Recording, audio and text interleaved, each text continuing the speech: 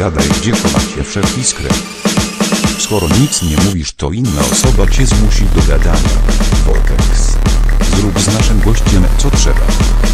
Tak, ha, ha, ha. Nie. Nie. Było mówić to wtedy mógłbym ci nie zabierać głosu.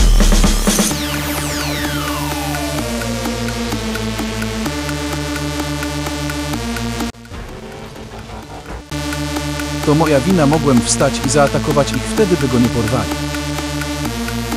To nie twoja wina. No a kogo to ja stałem najbliżej i to ja mogłem zaatakować. Ach, przepraszam, po prostu by to mój pierwszy przyjaciel. Co to? Bracik. Zwijamy się stąd. Łapać.